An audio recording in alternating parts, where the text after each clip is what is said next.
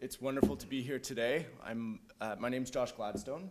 I'm here on behalf of Northern Public Affairs Magazine um, and my colleagues Jerald Sabin and Sheena Kennedy, who are co-publishers uh, at Northern Public Affairs.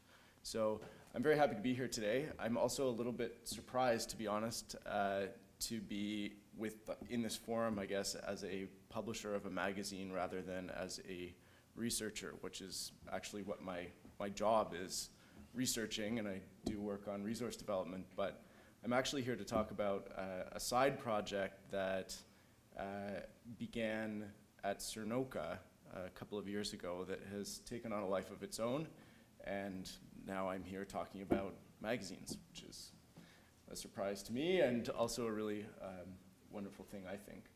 So uh, next slide, please. so I guess the, the best way to start, I'd, I'd like to talk about the role of Northern Public Affairs in knowledge exchange uh, in the North, and that's, that's my plan. Uh, but I think it would be helpful to give you a bit of some a bit of background on the publication. Um, Northern Public Affairs began uh, about well, it was November uh, 2011 at the SERNNoCa conference, and I think it all goes back to Paul Martin, doesn't it? With the funding that he had for uh, social economy research that carried through beyond his mandate uh, and the Social Economy Research Network in Northern Canada was one of the nodes in this, this network. And of course, ReSDA now is, is the continuation uh, of some of that work.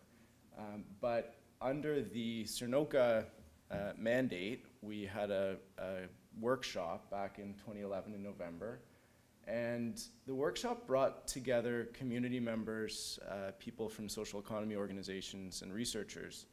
Uh, and I remember sitting at a table at the final breakout session for SERNNoCa. Uh, Mary Ellen was there. Uh, my other colleagues, Sheena and Jerry, were there. Uh, and we were talking about uh, what could be done to transmit some of the knowledge that had been gained through these partnerships to decision makers. And uh, I think Mary Ellen had the idea for a sort of an ongoing, some kind of an ongoing newsletter that could be used by researchers across the territories to uh, communicate the, the knowledge that they had gained through, through their research to decision makers. And we went away from that thinking about what, what, could, what could be done, what could we do, what kind of a model might work. And uh, we came back with a proposal to start a sort of a, a, a public affairs magazine for, for Northern Canada. Um, so I think, I think Mary Ellen said that uh, you can't say nothing ever came out of the breakout session. Uh, and I think, I think that proved true in this case anyway. Um, so that's, that's the origin of the, the magazine. That's, that began our mandate. So ne next slide, please. Northern Public Affairs began uh, as sort of a, a, magazine that was intended to um, foster knowledge exchange between researchers, policymakers, and, and an engaged public. Uh, we started as we started a non nonprofit uh, organization. Um, we have a network of advisors and editors, uh, collaborators, and funders that we've developed over the last couple of years. Um, we've developed a print and an online magazine. I'm focusing here on print, and I think at this point where uh, most of the work we do focuses on, on print and publishing, publishing these magazines you'll see at the back, and if anybody wants to pick one up, you're more than welcome. Um, and we're also, we're on the way to becoming uh, a charitable organization with an educational mandate. So in the last two years, we've, we've made quite a bit of progress. We work as a sort of an informal, volunteer-run organization that is really trying to create, um, to create a uh, network of people who are interested in um, thinking about the kind of policy, uh, policy work, the policy issues that um, are facing Northerners, and filling a gap in uh, what we saw to be a, a, a, lack of communication first between researchers and policymakers in the end, a, a forum in which uh, different uh, research projects and researchers could take their research and, um, and write it, I guess, presented in a way that was digestible by people who are in positions to, to make decisions based on it. This is a, uh, it's, it, anyway, next slide, please. Um, so the, what we've done, there, there are a couple of ways that we work to, uh, to bring research to the attention of, uh, of policymakers. Um, we, uh, we work with researchers to publish feature articles in the magazine. Um, we've worked with political scientists, political economists, economists on issues such as poverty, um, on questions about research uh, and research in the North. Uh, we have an issue coming out on literacy, and we have someone, uh, a researcher, writing on uh, literacy in the North. Um, so feature articles are one way that people can contribute to the magazine. Um, research notes is another feature of the magazine that we have started to allow researchers to present uh, small summaries of the research that they're doing uh, to, uh, I guess, in the magazine. Uh, could also be used to communicate with communities to the extent that communities are, are engaged in, in the magazine, and I'll, I'll get into that in a second. We publish themed issues, so we've published now four themed issues of the magazine. Um, one on treaties, one on research, um, one on the conservative vision for the North, which came out last fall. Uh, the most recent issue is on the Arctic Council, and the issue coming up is on, is on literacy. So each issue has a theme, and we develop articles around the theme, and then we accept other articles um, from people who are interested in contributing on, on whatever other topic. Um, and so you end up getting a, a diversity of, of I guess, of, of articles and topics within any given issue. Um, and we've also started uh, to publish special issues. So one way that we've worked with uh, the research community is by publishing issues based on conferences. Last year in November, there was a, a Northern Governance and Economy Conference. Stephanie Irlbacher Fox was one of the co-chairs. Uh, and based on that conference, we took a number of presentations uh, speeches and uh, writing, I guess, editorials by the co-chairs and turned that into an issue of the magazine that presented um, a, an overview of the conference and gave conference organizers an opportunity to um, bring their material together and um, first keep it in one place, which is uh, one, one important part of what we do uh, permanently um, but also sort of go over the material and think about ways that, um, that the material itself might be useful for policymakers. Um, so special issues, we, we have another special issue coming up on, uh, on Inuit education. That should be coming out sometime in the winter. And we're working in partnership with the Amaujaq, uh, the Amaujaq uh, Inuit Education Center at ITK. So um, those are different ways that researchers can, uh, can engage with us and engage with the magazine. Um, but our mandate has broadened beyond, uh, beyond working specifically with researchers. If you could go to the next slide. Thanks. Um, we realized as we were sitting uh, at the table and as we developed the proposal for Northern Public Affairs that um, that the mandate that we have, uh, that, that the, the kinds of, uh, the kind of gap that we're looking at is broader than a gap between uh, researchers and, and policymakers. Um, we think, and we, we're working on the, uh, what motivates us is bringing uh, in-depth analysis to northern public affairs issues. And we, do, we try and do this from a northern perspective. We've put together an advisory board uh, of, um, of people from across the north. The Northern Research Institutes have been uh, incredibly helpful and supportive in putting this together. Um, and Mary Ellen now sits on, on the advisory board representing the Northern Institutes. Um, we have people from, uh, I guess Val has also sat on the board. Uh, from the Yukon. Um, the advisory board helps us by um, providing us with a, a vetting forum for, uh, for issues that we, that we face in terms of balance, in terms of diversity of voice, uh, questions of uh, some editorial policy questions that come up from time to time. Uh, and they provide us with uh, links to, to communities of interest in the north and help us bring material into the magazine. So the advisory board has really helped us to, uh, to fulfill the mandate that we set for ourselves. Um, and the, I guess the, the mandate seems to be, the feedback that we've gotten so far has been uh, qu- quite positive, and the, I guess the exchange of information that we're talking about um, has, has worked to the point where I've been to, uh, to communities and shown the magazine to people that I know, and somebody uh, was, somebody actually looked at the magazine and said, oh, this, this is my cabin. And this was Gwen Healey's piece, I guess, uh, a couple of issues ago, where she had written on some of the work that she was doing with, with the center. Um, and that was a, th- this is a way that it seems that people's, people are relating to the magazine in ways that we hadn't, uh, hadn't entirely expected, but it's, it, it's, uh, it's been quite positive. Um, so,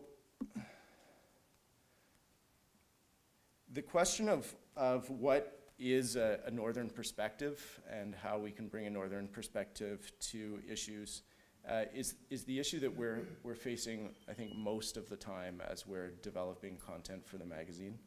Um, we all understand how complex uh, and rich northern society is and how uh, northern people are navigating language, ethnicity, age, uh, religion, history, family, socioeconomic status.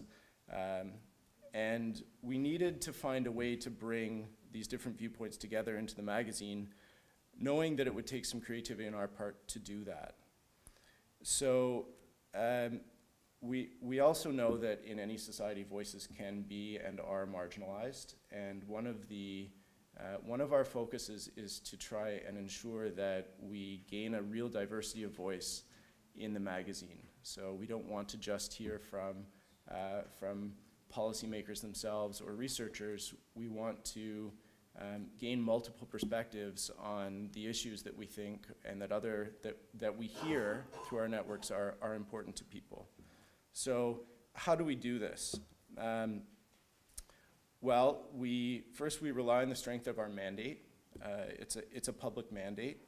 Uh, and the interest and goodwill of, of our audience to provide material and, and content for us. We work on a model, we don't pay for material. Um, we, uh, we hope that the value, people see the value of, of the publication and um, believe that there's enough value to, to contribute. And so far, we've been quite successful, I think, bringing, um, bringing people in that way to, to write for us. And it's yielded some absolutely wonderful, uh, wonderful content. Um, I'll, I'll just speak very briefly to an article that came out in the, the not the last issue, the issue before by Aviaq Johnston, which uh, it was called My Mother's Tongue. It was a, a piece on uh, identity and, uh, and language, but it was also a critique of Nunavut's education system. And I don't know if people have, have read that article, but it, it was an absolutely astounding piece that came out of uh, a young woman who's now at, uh, at U of O. She's at, she was at NS, Nunavut Sivuniksavut, at the time. Um, and it was one of those articles that uh, we realized at the time that there was a, a there's a wealth of, uh, of information, of knowledge, of perspective, of voice out there, uh, and of really thoughtful, um, con constructive critique uh, of, uh, of the status quo that doesn't, uh, that, that needs an outlet. And so we're working to try and create that outlet for people. Um, we, the approach that we're taking, which is to, um, to bring, bring content in through sort of voluntarism, um, is also, it also has some limitations. One of those limitations is uh, that the people who are able to contribute are the people, I mean, this is, this is a print publication, so the people that contribute are the people who have the time, the inclination, uh, and the resources to do this in their spare time. Um, and that, uh, that creates some limitations for us uh, and for the magazine. And what we're, we're trying to overcome that in a number of ways. One way is by seeing our board, our editorial board, as a resource for authors. So we work, uh, we work very hard to make sure that the material that comes in is published, that we're able to work with the authors over a long period of time to uh, develop their articles and offer whatever we can to make sure that the perspective that somebody wants to bring to an issue uh, is, is, presented, uh, is presented well.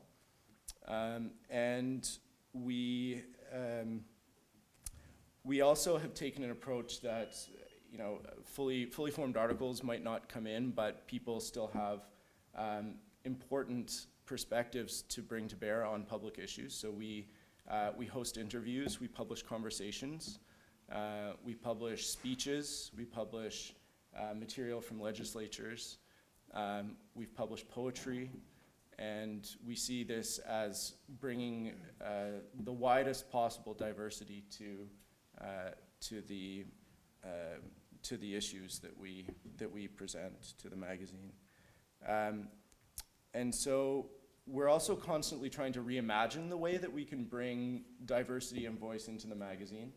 Um, we are beginning to think through ways of um, providing an, sort of a, a, a, recognition to people of the work that they're doing. We're never, we're never going to be able to pay uh, our authors uh, you know, going professional rates for material.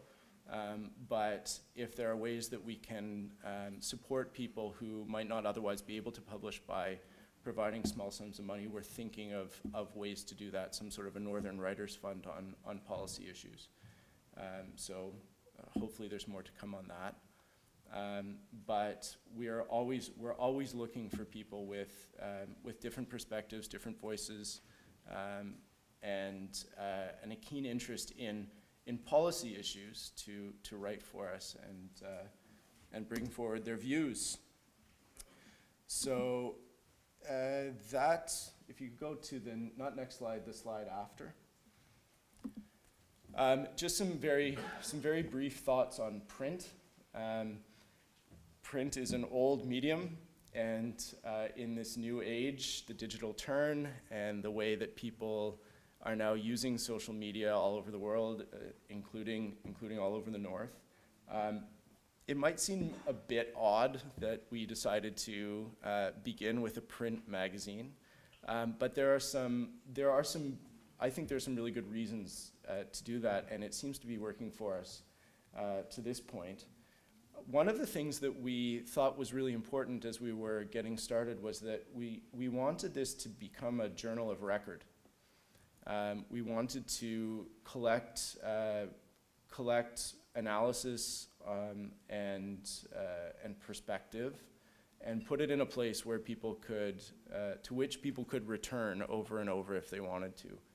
Um, and as we're publishing speeches and, uh, and material from the leg legislatures uh, and these wonderful, wonderful pieces that come in, it's important to us that the magazine is, is housed somewhere and that people can continue to come back to it. So the fact that it's in print, uh, it's now in, the magazine is now in libraries across the country, uh, university libraries, legislative libraries. Um, we're sending the magazine through the Northern Research Institutes, which have been major supporters of, of the initiative.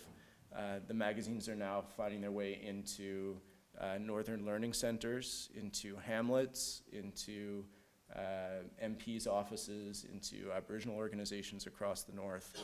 Um, they're finding their way into coffee tables.